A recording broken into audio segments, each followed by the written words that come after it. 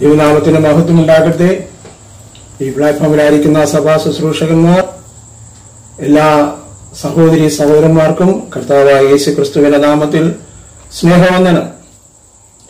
ക്രിസ്തീയ ജീവിതം എന്നത് അനുഗ്രഹവും വിടുതലും സൗഖ്യവും പ്രാപിക്കുന്നത് മാത്രമല്ല അത് ക്രിസ്തുവിനോടൊപ്പമുള്ള ജീവിതമാണ്.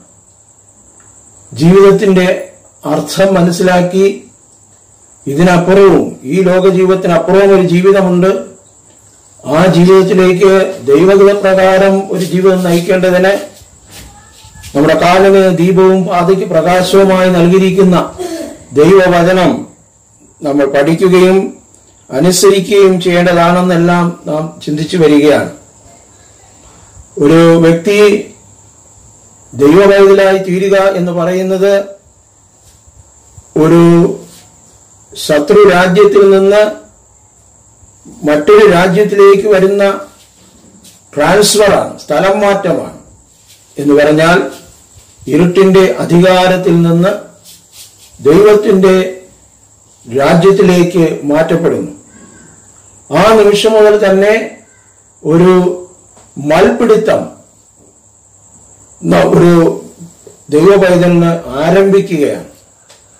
അതുകൊണ്ടാണ് യേശു കർത്താവിനടുത്ത് ഒരു മനുഷ്യൻ വന്ന് ചോദിച്ചു കർത്താവെ രക്ഷിക്കപ്പെടുന്നവർ ചുരുക്കമോ?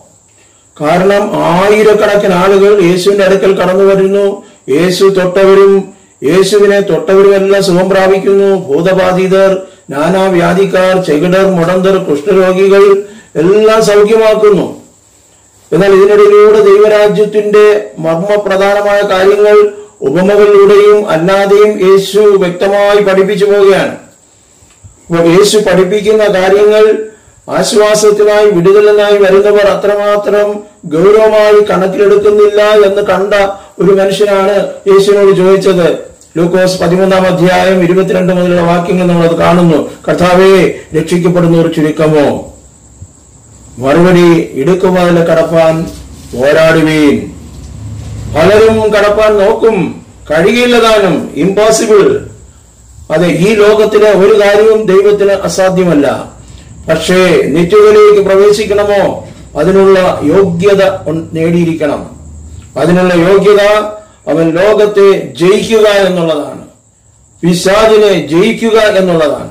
ഇവിടെയാണ് ആ മൽപ്പിടുത്തം അപ്പോൾ അപ്പോസ്റ്റനായ പൗലോസ് സുവിശേഷ നിമിത്തം കാരാഗ്രഹത്തിലായിരിക്കുമ്പോൾ തനിക്ക് കാവലേർപ്പെടുത്തിയിരിക്കുന്ന പട്ടാളക്കാരനെ അദ്ദേഹം ഇങ്ങനെ സസ്മൂഷം ശ്രദ്ധിക്കുകയാണ്. അപ്പോൾ അദ്ദേഹത്തിന്റെ ഉള്ളിൽ ഒരു ആത്മീകമായ വെളിപ്പാട് തനിക്ക് ലഭിച്ചു. എന്നെ ഒരായുധവും ഇല്ലാത്ത എന്നെ ഇത്രമാത്രം അതെ ആയുധമുള്ള പടച്ചട്ട അണിഞ്ഞുകൊണ്ട് എനിക്ക് കാവൽ നിർത്തുമ്പോൾ എന്തിനാണ് ഇത്രയും സംരക്ഷണ കാവൽ എനിക്ക് ഏർപ്പെടുത്തിയിരിക്കുന്നത്? അപ്പോൾ അദ്ദേഹത്തിന് മനസ്സിലായി ബാഹ്യമായി എന്നെ ഒരായുധവും ഇല്ലെങ്കിലും ദൈവം എന്നെ ധരിപ്പിച്ചിരിക്കുന്നത് ദൈവത്തിന്റെ സർവായുധ വർഗമാണ് ദൈവത്തിന്റെ സർവായുധ വർഗമാണ് അതുകൊണ്ട് താൻ ആ പ്രകാശനത്തിൽ അതിനെക്കുറിച്ച് താൻ എഴുതുവാനായി തുടങ്ങി.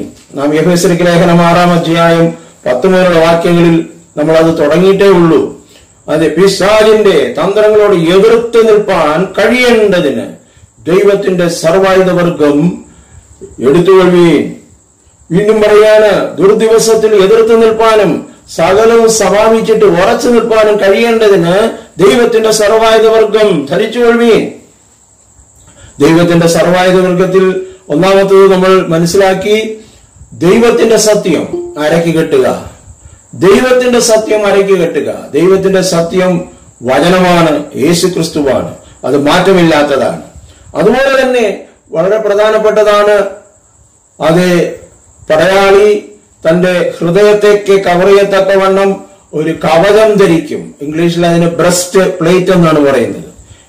അപ്പോൾ ആ ബ്രസ്റ്റ് പ്ലേറ്റിനെ ആത്മാവിൽ പൗലോസ് മനസ്സിലാക്കുന്നു. അത് ദൈവത്തിന്റെ നീതിയെ ഒരു കവചമായി ധരിക്കണം. നമ്മൾ ഹൃദയത്തെ എത്രമാത്രം സൂക്ഷിക്കുന്നു? മാനുഷ്യ ഹൃദയം പോലും വാരിയെല്ലുകൾക്കെല്ലാം കൊണ്ട് അത് അതിനകത്ത് അത് ദൈവം സംരക്ഷിച്ചു വെച്ചിരിക്കുകയാണ്. സാധാരണഗതിയിൽ പെട്ടെന്ന് അതിന് ക്ഷയം ക്ഷതം വരാതിരിക്കാത്തൊക്കെ ഇതുപോലെ നമ്മുടെ ഹൃദയം എന്ന് പറയുന്നത് ദൈവത്തിന്റെ ഭാഷയിൽ നമ്മുടെ മനസ്സാക്ഷിയാണ്. നമ്മുടെ മനസ്സാക്ഷി. അപ്പൊ നമ്മുടെ മനസ്സാക്ഷിയെ നാം സൂക്ഷിക്കേണ്ടത് ദൈവത്തിന്റെ നീതിയാലാണ്. ദൈവത്തിന്റെ നീതിയാലാണ് രണ്ട് ദിവസങ്ങൾ നമ്മൾ അതിനെക്കുറിച്ച് ധ്യാനിച്ചുവെങ്കിലും നമുക്ക് ഇതിൽ പങ്കെടുക്കാത്തവർക്ക് അത് യൂട്യൂബിൽ നിങ്ങൾക്ക് ലഭിക്കും. അത് ചിലരുടെ അഭിപ്രായ പ്രകാരം സാർ അത് ഒന്നുകൂടെ വിശദീകരിക്കണം.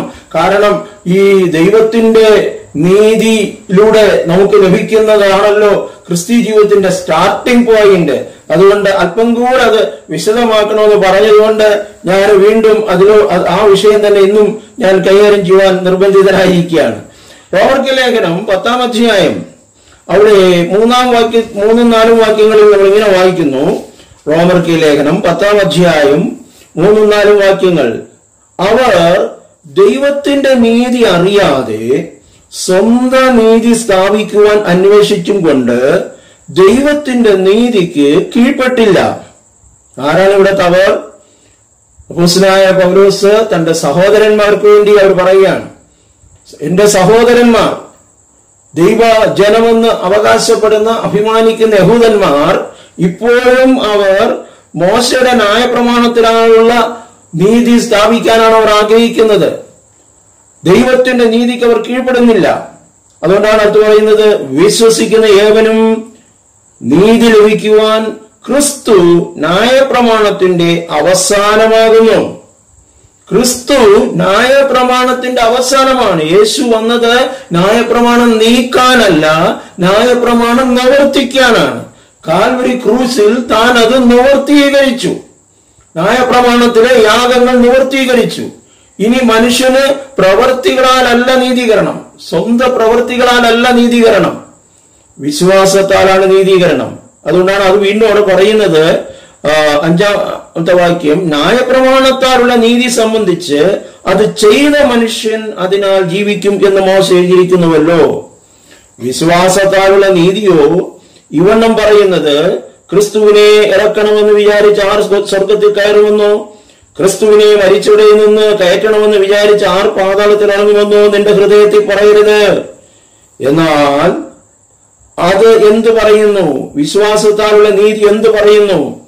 വചനം നിനക്ക് സമീപമായി നിന്റെ വായിലും നിന്റെ ഹൃദയത്തിലും ഇരിക്കുന്നു. അത് ഞങ്ങൾ പ്രസംഗിക്കുന്ന വിശ്വാസ വചനം തന്നെ. യേശുവിനെ കർത്താവെന്ന് വായികൊണ്ട് ഏറ്റുപറയുകയും ദൈവം അവനെ മരിച്ചവരിൽ നിന്ന് ഉയർത്തെഴുന്നേൽപ്പിച്ചുവെന്ന് ഹൃദയം കൊണ്ട് വിശ്വസിക്കുകയും ചെയ്താൽ നീ രക്ഷിക്കപ്പെടും. പാപത്തിന്റെ ശിക്ഷയിൽ നിന്ന് നീ രക്ഷിക്കപ്പെടും. നിന്റെ ആത്മാവിൽ നിനക്ക് ജീവൻ ലഭിക്കും. ഹൃദയം കൊണ്ട് നീതിക്കായി വിശ്വസിക്കുകയും വായു കൊണ്ട് രക്ഷയ്ക്കായി ഏറ്റുപറയുകയും ചെയ്യുന്നു. അപ്പോൾ ഹൃദയം കൊണ്ട് നീതിക്കായി വിശ്വസിക്കുന്നു. അവിടെ സംഭവിക്കുന്നത് നീതീകരണം എന്നുള്ള ഒരു പദവി ഒരു സംഭവമാണ് അവിടെ നടക്കുന്നത്.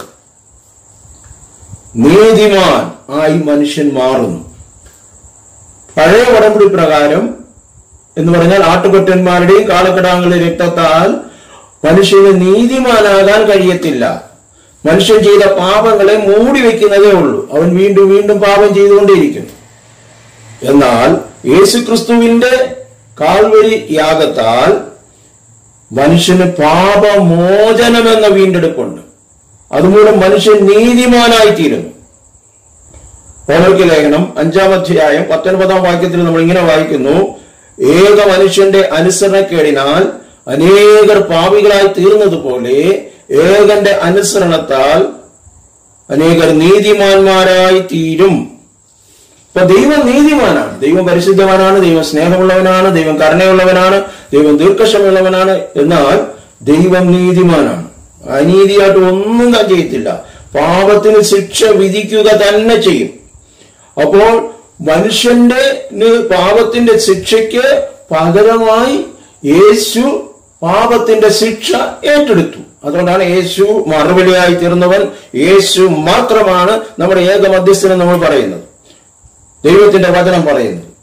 അപ്പോൾ ഏക മനുഷ്യന്റെ അനുസരണത്താൽ എല്ലാവരും നീതിമാന്മാരായി തീരും. ഹൃദയം കൊണ്ട് വിശ്വസിക്കുന്നവർ ഇതിന് പറഞ്ഞിരിക്കുന്ന ഒരു തിയോളജിക്കൽ വേർഡ് എന്ന് പറയാം ഇംഗ്ലീഷിൽ പറയുമ്പോൾ ജസ്റ്റിഫിക്കേഷൻ ജസ്റ്റിഫിക്കേഷൻ മലയാളത്തിൽ അത് ഒരേ പദം തന്നെ ഉപയോഗിച്ചിരിക്കുന്നു നീതീകരണം. അപ്പൊ ദൈവം തന്റെ നീതിയെ കാൽവരി ക്രൂസിൽ പ്രദർശിപ്പിച്ചു. നമ്മൾ റോബർ ലേഖനത്തിൽ മുമ്പ് വായിച്ചതാണ്. എങ്കിലും ഞാനിപ്പോൾ ഒന്നുകൂടെ അത് ഞാൻ വായിക്കുകയാണ്. അത് ക്ലിയർ ആയിട്ട് അവിടെ പറഞ്ഞിട്ടുണ്ട് റോമർ കലേഖനം മൂന്നാം അധ്യായം ഇരുപത്തഞ്ച് മുതൽ. റോമർ മൂന്നിന്റെ ഇരുപത്തി അഞ്ച് മുതൽ. ഹൃദയപൂർവം വിശ്വസിക്കുന്നവർക്ക് പിതാവായ ദൈവം അത് പിതാവായ ദൈവം തന്റെ പുത്രൻ തന്റെ രക്തം മൂലം പ്രായച്ചിത്തമാകുവാൻ ദൈവം യേശുക്രിസ്തുവിനെ പരസ്യമായി നിർത്തിയിരിക്കുന്നു.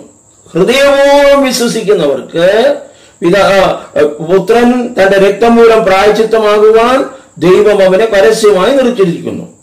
അത് ശ്രദ്ധിക്കുക. ദൈവം തന്റെ പുറമെയിൽ അത് വളരെ ഇമ്പോർട്ടന്റ് ആണ്. ദൈവം തന്റെ പുറമെയിൽ താനങ്ങ് ഈ ബാങ്ക് ലോൺ എഴുതി തള്ളിക്കളയും പോലെ താനങ്ങ് തള്ളിക്കളയാണ്. എന്റെ പുത്രനിൽ വിശ്വസിക്കുന്നവനെ എന്റെ പാപങ്ങളെ ഞാൻ കണക്കിലെടുക്കുന്നില്ല. ഞാനത് എഴുതിത്തള്ളുകയാണ്.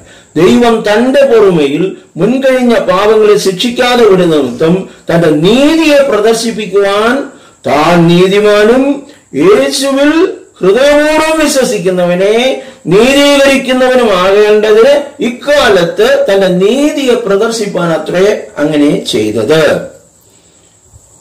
അപ്പോൾ യേശുക്രിസ്തുവിനുള്ള നീതീകരണം എന്ന് പറയുന്നത് യേശുക്രിസ്തു എന്റെ പാപങ്ങൾക്ക് പരിഹാരമായി കാൽവരി ക്രൂശിൽ മരിച്ചു മൂന്നാം നാൾ ഉയർത്തെഴുന്നേറ്റു എന്ന് ഹൃദയപൂർവം വിശ്വസിക്കുമ്പോൾ മനുഷ്യനെ നീതിമാനാക്കുന്നു. നീതിമാനാക്കുന്നു. അത് ശ്രേഷ്ഠകരമായ ഒരു പദവിയാണ്. നീതിമാൻ എന്നുള്ള പദവി. അപ്പൊ അവിടെ സംഭവിക്കുന്നത് നീതീകരണം ജസ്റ്റിഫിക്കേഷൻ ഈ രക്ഷിക്കപ്പെടുക രക്ഷിക്കപ്പെടുക എന്ന് പറയുമ്പോൾ നമ്മൾ മനസ്സിലാക്കണം അതിന് മൂന്ന് തലങ്ങളുണ്ട്. മൂന്ന് തലങ്ങൾ. ഞാൻ രക്ഷിക്കപ്പെട്ടു ഞാൻ രക്ഷിക്കപ്പെട്ടുകൊണ്ടേയിരിക്കുന്നു ഒടുവിൽ ഞാൻ രക്ഷിക്കപ്പെടും. അപ്പോസ്തലനായ പൗലോസ് കൊരിന്ത്യ സഭയ്ക്ക് എഴുതുമ്പോൾ ഇപ്രകാരം എഴുതിയിരിക്കുന്നു. ഒന്ന് കൊരിന്ത്യർ ഒന്നാം അധ്യായം പതിനെട്ടാം വാക്യം. ശ്രദ്ധിച്ച് ആ വാക്യം വായിക്കണം. ഒന്ന് കൊരിന്ത്യർ ഒന്നിന്റെ പതിനെട്ട്. ക്രൂശന്റെ വചനം നശിച്ചു പോകുന്നവർക്ക് ഭോഷത്വവും രക്ഷിക്കപ്പെടുന്ന നമുക്കോ ദൈവശക്തിയുമാകുന്നു രക്ഷിക്കപ്പെട്ട നമുക്കോ എന്നല്ല പൗലോസൂരും പറയുകയാണ് രക്ഷിക്കപ്പെടുന്ന നമുക്കോ ബീയിങ് സേവ്ഡ് അപ്പോൾ ഞാൻ രക്ഷിക്കപ്പെട്ടു എന്ന് പറഞ്ഞാൽ ഫസ്റ്റ് സ്റ്റേജ് ആയുള്ളൂ. എന്റെ ആത്മാവിൽ ജീവൻ ലഭിച്ചു. ആത്മാവിൽ ഒരു പ്രകാശനം ലഭിച്ചു. എന്റെ സ്പിരിച്വൽ സെൻസ് ഓർഗൻസ് പ്രവർത്തനക്ഷമമായി. ഞാൻ ഉപയോഗിക്കുന്ന പദങ്ങൾ ശ്രദ്ധിക്കണേ. ഏഴാം തോട്ടത്തിൽ ദൈവം മനുഷ്യനോട് പറഞ്ഞു തിന്നരുതെന്ന് കൽപ്പിച്ചിരിക്കുന്ന ഫലം തിന്നുന്ന നാളിൽ നീ മരിക്കും. അവർ ശാരീരികമായിട്ട് മരിച്ചൊന്നുമില്ല. മരിച്ചില്ല. ദൈവയുടെ തോട്ടത്തിൽ നിന്ന് പുറത്താക്കി നമുക്കറിയാം. പക്ഷേ ദൈവമായ ദൈവമാത്മാവാണ്. ദൈവവുമായിട്ടുള്ള ബന്ധം വിച്ഛേദിക്കപ്പെട്ടു. കറണ്ട് കട്ട് ചെയ്യുന്ന പോലെ. ദൈവമായിട്ടുള്ള ബന്ധം നഷ്ടപ്പെട്ടു. ദൈവത്തിന് ബന്ധപ്പെടാൻ പറ്റും പക്ഷെ ഇവർക്ക് അങ്ങോട്ട് ബന്ധപ്പെടാൻ കഴിയത്തില്ല. ആ വലിയൊരു ഗ്യാപ്പ് അവിടെ വന്നു. വിച്ഛേദനം സംഭവിച്ചു. ഈ വിച്ഛേദനമാണ് മാറുന്നത് യേശു ക്രിസ്തുവിന്റെ രക്തത്താലുള്ള നീതീകരണത്തിലൂടെ. ഇത് സംഭവിക്കേണ്ടത് ആത്മാവിലും ഹൃദയത്തിലുമാണ്. അതുകൊണ്ടാണ് യേശു ക്രിസ്തുവിന്റെ രക്തം. ജീവനുള്ള ദൈവത്തെ ആരാധിപ്പൻ എബ്രാർ ഒമ്പതിന്റെ പതിനാല്. യേശു ക്രിസ്തുവിന്റെ രക്തം ക്രിസ്തുവിന്റെ രക്തം ജീവനുള്ള ദൈവത്തെ ആരാധിപ്പാൻ നിങ്ങളുടെ മനസ്സാക്ഷിയെ നിർജീവ പ്രവൃത്തികളെ പോക്കി എത്ര അധികം ശുദ്ധീകരിക്കും. ഹൃദയപൂർവം വിശ്വസിക്കുമ്പോൾ ഹൃദയത്തെ കർത്താവ് ശുദ്ധീകരിക്കുകയാണ്. ഹൃദയത്തിനകത്ത് ഒരുപാട് വേണ്ടാത്ത കാര്യങ്ങൾ ഇരിപ്പുണ്ട്. നിർജീവ പ്രവർത്തികൾ ജഡത്തിന്റെ പ്രവർത്തികൾ അപ്പോ നീതീകരണം സംഭവിക്കുന്നു. അടുത്ത പ്രോസസ്സാണ് ശുദ്ധീകരണം സാങ്ക്ടിഫിക്കേഷൻ മരണം വരെയുള്ള ഒരു പ്രോസസ്സാണ് ഈ സാങ്ക്ടിഫിക്കേഷൻ എന്ന് പറയുന്നത്. നമ്മൾ ദൈവവചനം കേൾക്കുമ്പോൾ നമ്മൾ ശുദ്ധീകരിക്കപ്പെടുന്നു. പരിശുദ്ധാത്മാവിനാൽ ശുദ്ധീകരിക്കപ്പെടുന്നു.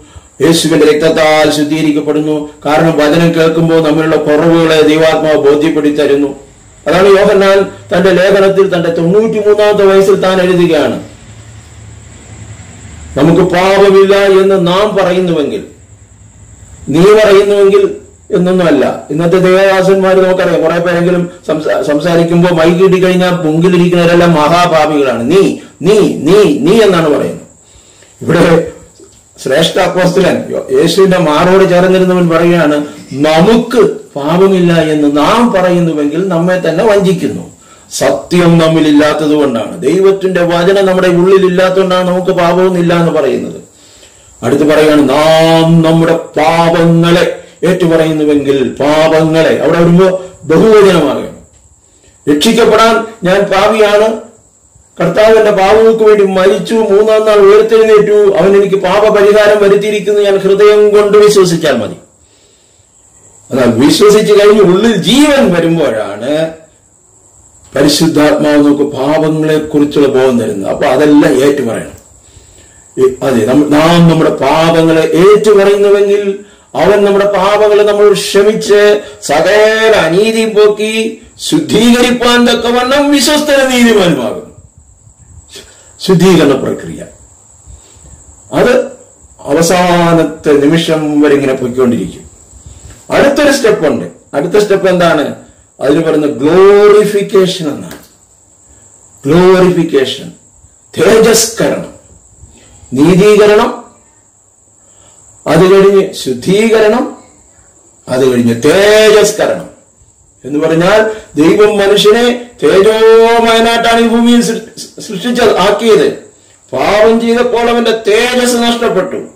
അവന്റെ ദൈവിക സ്വരൂപം നഷ്ടപ്പെട്ടു. തന്റെ സ്വരൂപത്തിലും തന്റെ സാദൃശ്യത്തിലും സൃഷ്ടിക്കപ്പെട്ട മനുഷ്യൻ ദൈവത്തോട് അനുസരണക്കേട് കാണിച്ചപ്പോൾ സാദൃശ്യം നഷ്ടപ്പെട്ടു സ്വരൂപവും നഷ്ടപ്പെട്ടു.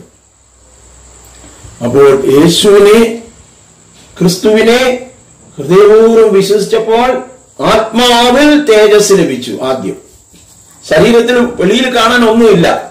ആത്മാവിൽ ഒരു തേജസ് കണ്ണൻ ലഭിച്ചു. നോക്കാം റോമർക്ക് ലേഖനം എട്ടാം അധ്യായം അതിന്റെ മുപ്പതാം വാക്യം റോമർ എട്ടിന്റെ മുപ്പത് മുൻനിയമിച്ചവരെ വിളിച്ചും കാരണം ദൈവം എല്ലാവരെയും മുൻനിയമിച്ചിരിക്കുകയാണ് യേശു എല്ലാവർക്കും വേണ്ടിയാണ് മരിച്ചു. ഏത് ജാതി ഏത് മതം ഏത് ഭാഷ ഒന്നും ഇവിടെ പ്രശ്നമല്ല. എല്ലാവർക്കും വേണ്ടി മരിച്ചു എല്ലാവരെയും മുൻനിയമിച്ചിരിക്കുന്നു അതുകൊണ്ടാണ് എല്ലാവരോടും സുവിശേഷം പറയുന്നത്.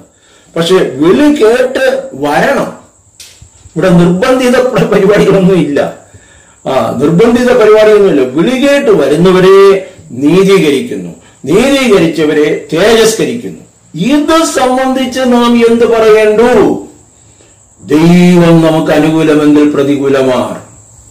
ഇതാണ് അതിന്റെ പശ്ചാത്തലം. പലപ്പോഴും ഈ മുകളിലുള്ള വാക്യം ശ്രദ്ധിക്കാൻ ചുമ്മാ ദൈവം എനിക്ക് അനുകൂലം. അത് നന്നായി അറിയുന്നു ഞാൻ. ഇങ്ങനെയൊക്കെ പാടിയെന്ന് പോകാറുണ്ട്. എന്തിനാണ് ദൈവം അനുകൂലമായിരിക്കുന്നത്? ഒരു മനുഷ്യനെ നീതീകരിക്കുവാൻ. ദൈവം അനുകൂലമായിരിക്കുകയാണ്. എന്നിട്ട് തൊട്ടടുത്ത് പിന്നെയും പറയുകയാണ്. ആ വായിക്കാം. ഇത് സംബന്ധിച്ച് നാം എന്ത് പറയുന്നു? ഇത് സംബന്ധിച്ച് നാം എന്ത് പറയുന്നു? ദൈവം നമുക്ക് അനുകൂലമെങ്കിൽ ദൈവം നമുക്ക് അനുകൂലമെങ്കിൽ നമുക്ക് പ്രതികൂലമാണ്. സ്വന്തം പുത്രനെ ആദരിക്കാതെ. നമുക്ക് എല്ലാവർക്കും നമുക്ക് നൽകാതിരിക്കും അവനോടുകൂടെ സകലവും നമുക്ക് നൽകാതിരിക്കുമോ? ദൈവം തെരഞ്ഞെടുത്തവരെ ആർ കുറ്റം ചുമത്തും. നീതീകരിക്കുന്നവൻ ദൈവം. ശിക്ഷ മരിച്ചവൻ. ക്രിസ്തു യേശു മരിച്ചവൻ. മരിച്ചിട്ട് ഉയർത്തെഴുന്നേറ്റവൻ. തന്നെ. ദൈവത്തിന്റെ അവിടുന്ന് ദൈവത്തിന്റെ വലത്ത് പാതിരിക്കുകയും നമുക്ക് വേണ്ടി പക്ഷപാതം ചെയ്യുകയും നമുക്ക് വേണ്ടി പക്ഷപാതം ചെയ്യും. ദൈവമാണ് നീതിയിരിക്കുന്നത്. പ്രതികൂലമായി ആർക്കും നിൽക്കുവാൻ കഴിയത്തില്ല. ശിക്ഷ വിധിക്കുന്നതും ദൈവം തന്നെ. അപ്പോൾ നീതീകരണം ദൈവത്തിൽ നിന്ന് നമുക്ക് ലഭിക്കുന്നതാണ്. അപ്പോൾ അതിന് ജസ്റ്റ് നീതീകരണം. ഈ മൂന്നിനും കുറച്ചുകൂടെ മനസ്സിലാക്കാൻ വേണ്ടി മൂന്ന് ഇംഗ്ലീഷ് പദങ്ങളും കൂടെ ഞാൻ പറയാം.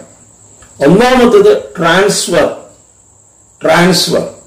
സാത്താന്റെ രാജ്യത്തിലായിരുന്നു ഇപ്പോൾ സ്നേഹസ്വരൂപനായ പുത്രന്റെ രാജ്യത്തിലാക്കി വെച്ചു. ട്രാൻസ്ഫറായി. അടുത്ത് ട്രാൻസ്ഫർമേഷൻ. ലോകത്തിലെ സകല പുസ്തകങ്ങളും നമുക്ക് ഇൻഫർമേഷൻ നൽകുന്നതാണ്. ഒരൊറ്റ പുസ്തകമേ ഉള്ളൂ ട്രാൻസ്ഫർമേഷൻ നൽകുന്നത്. കാരണം ഇത് ദൈവത്തിന്റെ വചനമാണ്.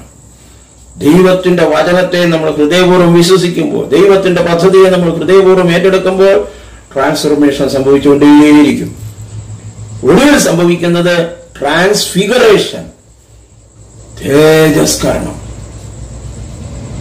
അവർ തേജസ്സിൽ വെളിപ്പെടുമ്പോൾ നാമം അവരോടുകൂടെ തേജസ്കരിക്കപ്പെടും. ഒന്നാമത്തേത് സംഭവിക്കുന്നത് നമ്മുടെ ആത്മാവിൽ നീതീകരണം. ആത്മാവ് ജീവൻ പ്രാപിക്കുന്നു. സ്പിരിച്വൽ സെൻസ് ഓർഗൻസ് ഫങ്ഷൻ ചെയ്യാൻ തുടങ്ങുന്നു. രണ്ടാമത്തേത് സംഭവിക്കുന്നത് നമ്മുടെ ഹൃദയത്തിനാണ്.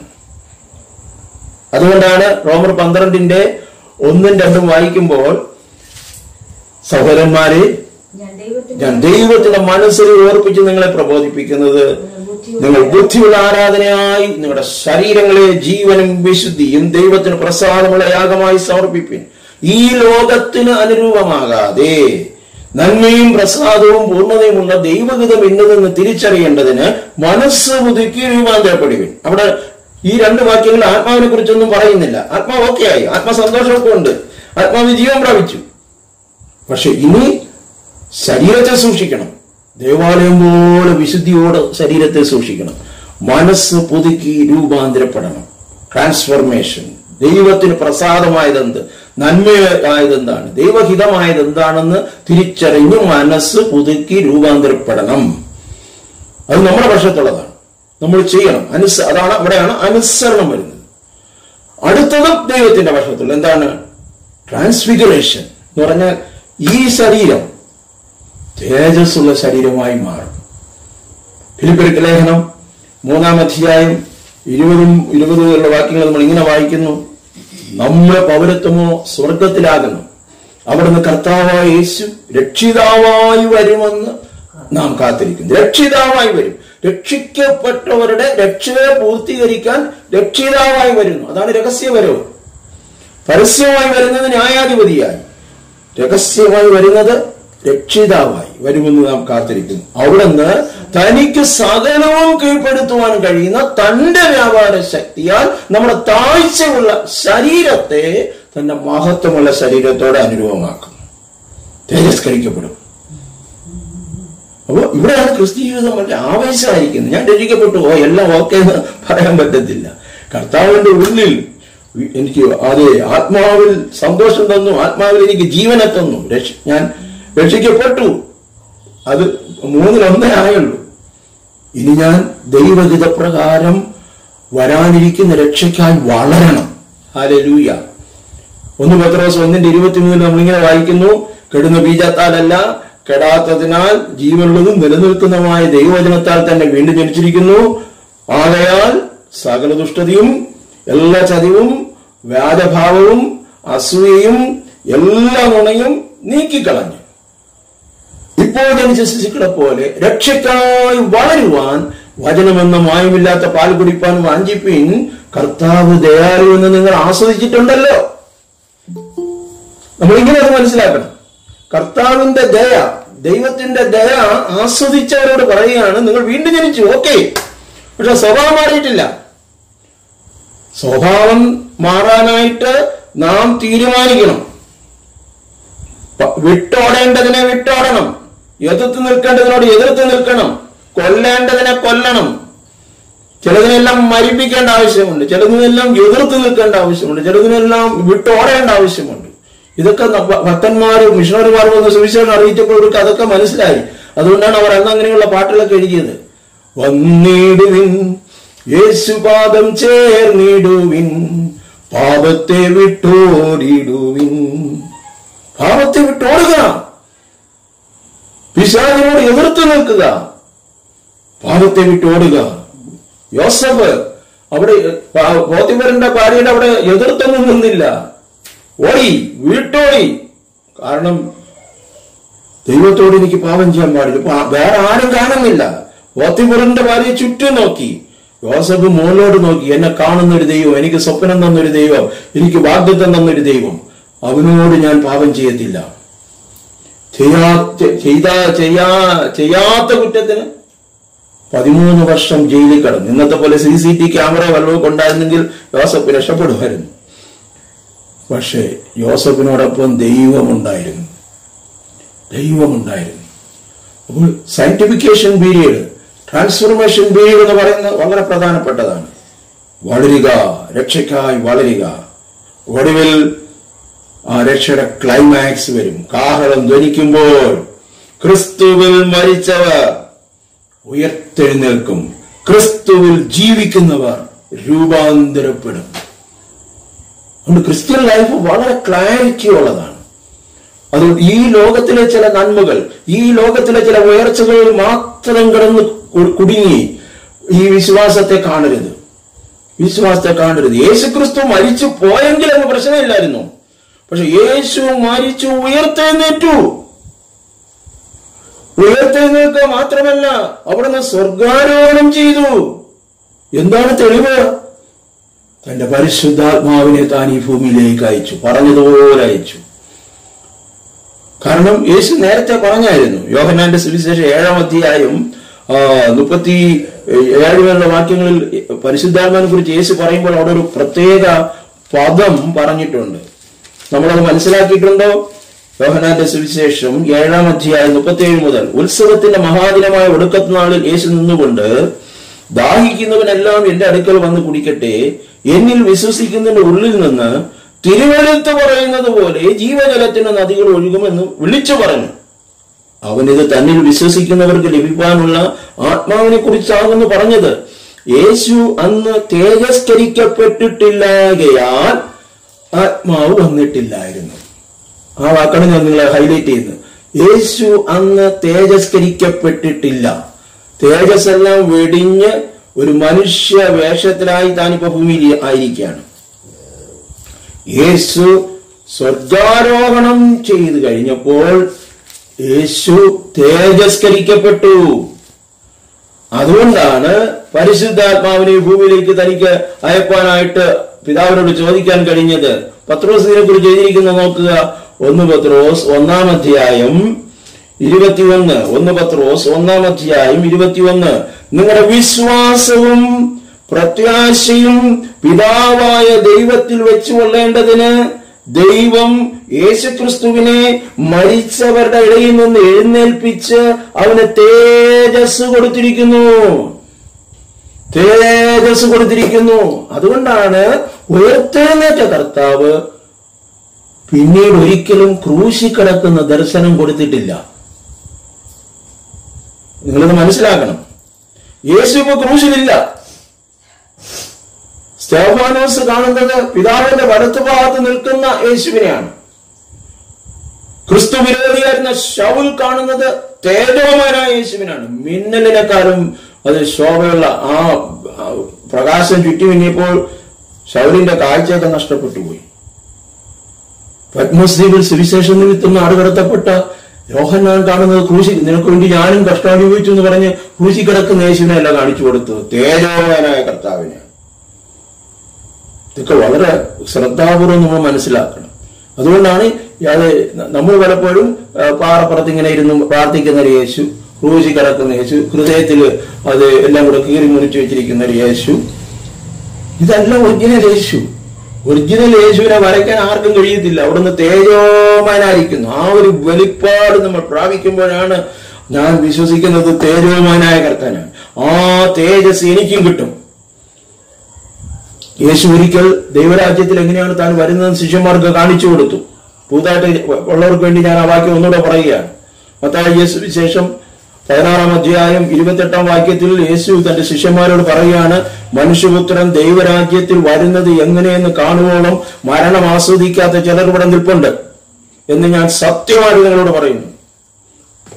ആ യേശു ക്രിസ്തു തേജോമാനായി വരുന്നത് കാണുന്നത് വരെ മരിക്കാത്തവരുണ്ടെന്ന് കള്ളമല്ലേ യേശു പറഞ്ഞത്? എന്നാൽ അടുത്ത് താഴോട്ട് വായിക്കുമ്പോൾ നമ്മൾ മനസ്സിലാക്കുന്നു ആറ് ദിവസം കഴിഞ്ഞ ശേഷം യേശു മൂന്ന് ശിഷ്യന്മാരെ കൂട്ടിക്കൊണ്ടുപോവുകയാണ് മലയിലേക്ക്. എന്നിട്ട് പെട്ടെന്ന് താൻ തേജോമയനായി മാറി. അവന്റെ മുഖം സൂര്യൻ ശക്തിയോടെ പ്രകാശിക്കുന്ന പോലെയായി. തന്റെ വസ്ത്രമെല്ലാം ഭൂമിയിലെ ഒരു അലക്കുകാരനും വെളി വെളുപ്പിക്കാൻ കഴിയാത്തതുപോലെ വെള്ള വെളിച്ചമായി മാറി. മോശം ഏരിയൊക്കെ വന്നു. ശിഷ്യന്മാർ പറഞ്ഞു നമുക്ക് വിരിക്കുന്നതാണ് നല്ലത്. ഇവിടെ ഒരു കുടിലൊക്കെ ഉണ്ടാക്കാന്നൊക്കെ പറഞ്ഞു. താഴോട്ട് പോകാൻ പറഞ്ഞു. താഴോട്ട് പോകാൻ പറഞ്ഞു. തേജോമാനായ കർത്താവിനെയാണ് നമ്മൾ വിശ്വസിക്കുന്നത്. ഇത് നമുക്കും കിട്ടും വിദേശ് അതാണ് പൗലോസ് ജീവിതത്തിന്റെ കഷ്ടതകളിൽ അത് താൻ ഇങ്ങനെ എഴുതി. റോമർക്ക് ലേഖനം എട്ടാം അധ്യായം പതിനേഴാം വാക്യം. നമ്മിൽ വെളിപ്പെടുവാനുള്ള തേജസ് വിചാരിച്ചാൽ ഈ കാലത്തിലെ കഷ്ടങ്ങൾ സാരമില്ല എന്ന് ഞാൻ എണ്ണുന്നു. അപ്പോൾ നീതീകരണം ആണ് ദൈവത്തിന്റെ നീതിയിലൂടെ നമുക്ക് സംഭവിക്കുന്നത്. അപ്പോൾ ആ പിശാചിനോട് മൽപ്പിടുത്തത്തിൽ പിശാചിനെ നമ്മൾ ജയിക്കുന്നത് നമ്മുടെ നീതി പ്രവർത്തികൾ കൊണ്ടല്ല യേശു ക്രിസ്തുവിലൂടെ എനിക്ക് ലഭിച്ച നീതീകരണമാണ്. യേശുവാണ് എന്റെ നീതി. അവൻ എനിക്ക് ജീവൻ നൽകി. എന്റെ എന്റെ സവിശേഷത കണ്ടിട്ടല്ല എന്റെ വിശ്വാസത്താൽ. യേശു ക്രിസ്തുള്ള വിശ്വാസത്താൽ അവൻ എന്നെ നീതീകരിച്ചു. പാപത്തിന്റെ ശിക്ഷയിൽ നിന്ന് അവൻ എന്നെ വിടുവിച്ചു. ദൈവീകമായ സമാധാനം എനിക്ക് നൽകി.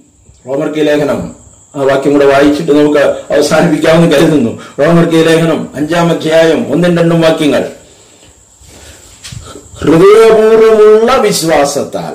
ഞാൻ ആ വിശ്വാസം എന്ന് പറയുമ്പോൾ എപ്പോഴും ഞാനിതുകൂടെ ഉപയോഗിക്കും. കാരണം ഇന്ന് ഈ വിശ്വാസം വളരെ ലളിതമായിട്ടാണ് ആളുകൾ കാണുന്നത് കൊണ്ടാണ് ഞാൻ ആ വാക്ക് ഞാൻ എപ്പോഴും ഉപയോഗിക്കുന്നത്. ഹൃദയപൂർവമുള്ള വിശ്വാസത്താൽ നീതീകരിക്കപ്പെട്ടിട്ട് നമ്മുടെ കർത്താവായ യേശു നമ്മുടെ കർത്താവായ യേശു ക്രിസ്തു മൂലം നമുക്ക് പിതാവായ ദൈവത്തോട് സമാധാനമുണ്ട്. റിലേഷൻഷിപ്പ് ശരിയായി. പാപി എന്നുള്ള ലേവൽ മാറി. യേശു ക്രിസ്തുവിന്റെ രക്തത്താൽ ഞാൻ നീതീകരിക്കപ്പെട്ടു അടുത്ത്. നാം നിൽക്കുന്ന ഈ കൃപയിലേക്ക് നമുക്ക് അവൻ മൂലം വിശ്വാസത്തെ പ്രവേശനവും ലഭിച്ചു. എൻട്രൻസ് കിട്ടി അകത്തായി. വന്നു കഴിഞ്ഞ ദൈവരാജ്യത്തിന്റെ അകത്തായി. രണ്ട് ദൈവരാജ്യമുണ്ട്. വന്നു കഴിഞ്ഞ ദൈവരാജ്യം വരാനിരിക്കുന്ന ദൈവരാജ്യം.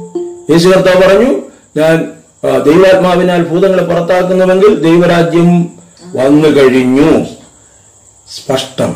എന്നിട്ട് കർത്താവ് പ്രാർത്ഥിക്കാൻ പഠിപ്പിച്ച പറഞ്ഞു നിന്റെ രാജ്യം വരയണമേ എന്ന് പ്രാർത്ഥിക്കണം.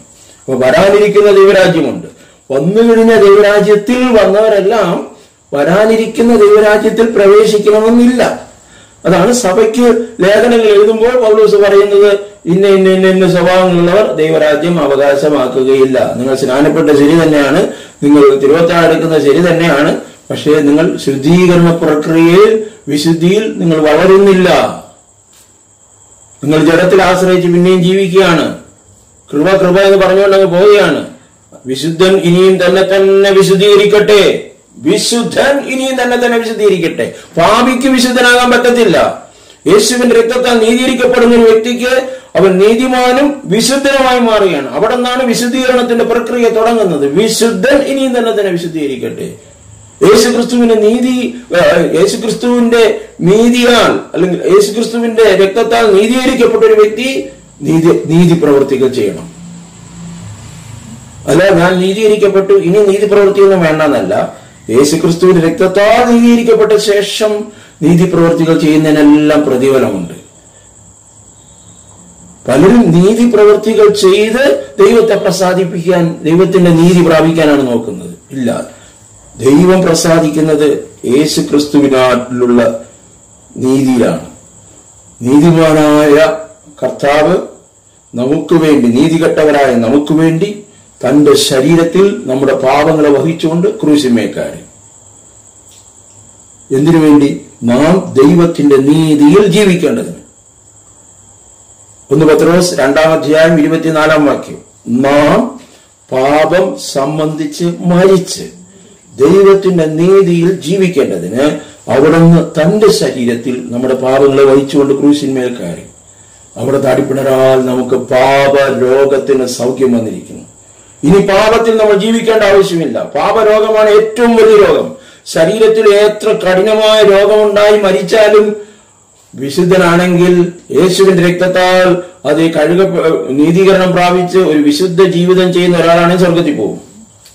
പക്ഷേ ശരീരത്തിൽ ഒരു രോഗവുമില്ല യേശുവിന്റെ രക്തത്താൽ വീണ്ടെടുപ്പും പ്രാപിച്ചിട്ടില്ല. അവൻ വാസ്തവത്തിൽ പാപരോഗത്താൽ ബന്ധിതനാണ്.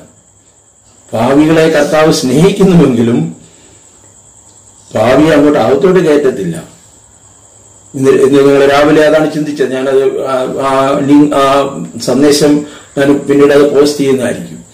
അപ്പോ ശരീരത്തിൽ എത്ര കഠിനമേറിയ രോഗമുണ്ടെങ്കിലും അത് യേശുവിന്റെ രക്തത്താൽ വീണ്ടെടുക്കപ്പെട്ട ഒരു വ്യക്തി ചിലപ്പോൾ രോഗസൗഖ്യം പ്രാപിക്കാതെ തന്നെ നിത്യതയിലേക്ക് പോകും. ചിലപ്പോൾ ശരീരത്തിൽ രോഗവും കാണത്തില്ല. അല്ലെങ്കിൽ ശരീരത്തിൽ രോഗവും കാണും.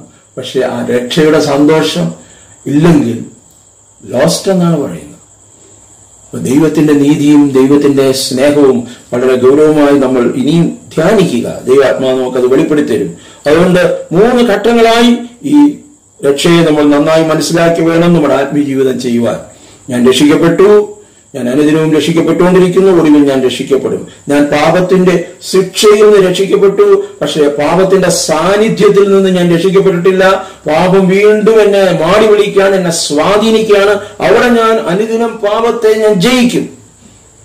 പാപത്തോട് ഞാൻ ജയിക്കും. ആ മൽപ്പിടത്തിൽ ജയിക്കാനാണ് യേശുവിന്റെ രക്തത്താലാണ് എന്നെ നീതി വെച്ചിരിക്കുന്നത്. ജീവരക്തം നൽകിയാണ് എന്നെ വീണ്ടെടുത്തിരിക്കുന്നത് നിർദോഷവും നിഷ്കളങ്കവുമായ കുഞ്ഞാടിന്റെ വിലയേറെ രക്തമാണ് എന്റെ നീതി. അടുത്ത് ഞാൻ രക്ഷിക്കപ്പെടും. പാപത്തിന്റെ സാന്നിധ്യത്തിൽ നിന്നേ ഞാൻ രക്ഷിക്കപ്പെടും. പാപത്തിന്റെ ശിക്ഷയിൽ ഞാൻ രക്ഷിക്കപ്പെട്ടു. പാപത്തിന്റെ സാന്നിധ്യത്തിൽ ഞാൻ രക്ഷിക്കപ്പെട്ടിട്ടില്ല. അനുദിനം ഞാൻ അതിൽ നിന്ന് രക്ഷിക്കപ്പെട്ടുകൊണ്ടേയിരിക്കണം. ഒടുവിലായി ഞാൻ പാപത്തിന്റെ സാന്നിധ്യത്തിൽ നിന്നേ രക്ഷിക്കപ്പെടും. ഇവിടെയാണ് ക്രിസ്ത്യൻ ലൈഫ് ഒരു ആവേശം ഒരു ഉത്സാഹം.